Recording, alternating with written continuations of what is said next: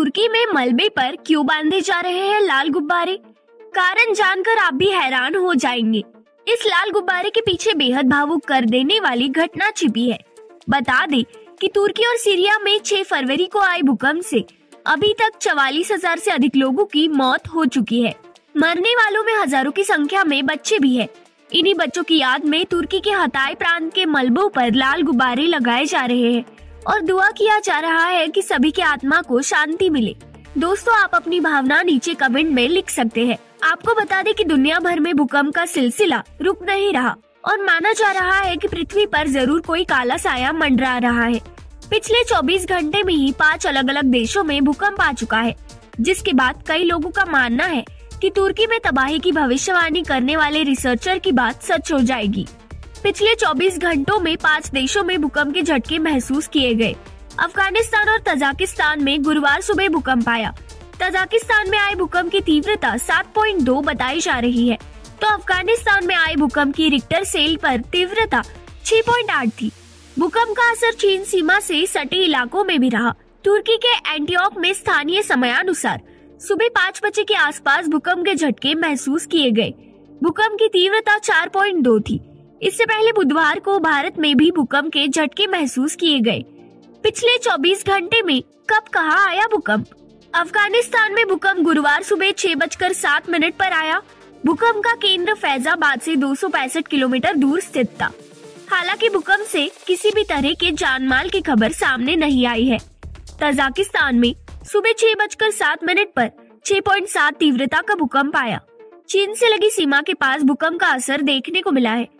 तुर्की के एंटीओक में स्थानीय समयानुसार सुबह चार बज के बयालीस मिनट पर भूकंप के झटके महसूस किए गए। भूकंप की तीव्रता 4.2 थी। भारत में दिल्ली एनसीआर में बुधवार दोपहर में भूकंप के झटके महसूस किए गए। भूकंप का केंद्र नेपाल में था। रिक्टर स्केल पर भूकंप की तीव्रता 4.8 थी। नेपाल के जुमला से 69 किलोमीटर दूर इसका केंद्र था। हालाँकि दिल्ली एनसीआर में भूकंप के झटके काफ़ी हल्के थे। इससे पहले बुधवार को दोपहर डेढ़ बजे उत्तराखंड के पिथौरागढ़ में भूकंप के झटके महसूस किए गए। भूकंप की तीव्रता 4.4 थी। भूकंप का केंद्र पिथौरागढ़ से 143 किलोमीटर दूर ज़मीन के 10 किलोमीटर भीतर थी। तुर्की सीरिया में तबाही के बीच पाँच देशों में आया भूकंप।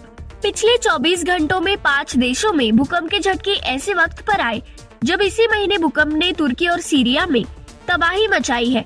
तुर्की और सीरिया में 6 फरवरी को 7.8 तीव्रता का भूकंप आया था।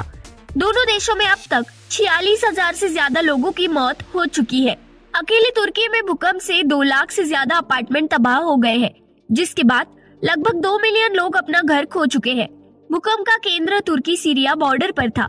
ऐसे में सीरिया में भी भूकंप से भारी तबाही हुई थी। सैकड़ों लोगों के अभी भी लापता होने की खबर है। जनवरी में भारत में 45 बार आया भूकंप।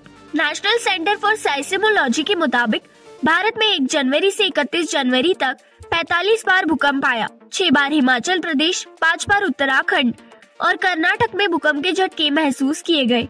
जम्मू कश्मीर, लद्दाख, अंडमान और मणिपुर में चार चार बार भूकंप आया, जबकि असम में तीन बार भूकंप के झटके लगे। क्या बाहरी तबाही का संकेत तो नहीं है ये झटके? नीदरलैंड के एक रिसर्चर फ्रैंक ने भूकंप से तीन दिन पहले ही भारी तबाही की भविष्यवाणी की थी। इतना ही नहीं, फ्रैंक ने भारत, अफ़गानिस्तान और पाकिस्तान के आसपास भूकंप के बड़े झटके लगने का अनुमान लगाया है। ऐसे में सवाल है कि क्या भारत और आसपास के देशों में हाल ही में आए ये झटके बड़ी तबाही का संकेत तो नहीं है? इस पर आपकी क्या राय है? नीचे कमेंट में बताएँ। वीडियो को लाइक करें तथा चैनल को सब्सक्राइब करें।